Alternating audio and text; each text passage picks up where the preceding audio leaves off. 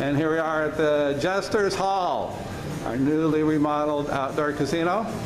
And a couple of our friendly dealers masked up and being safe for you. Come and see us. Come in.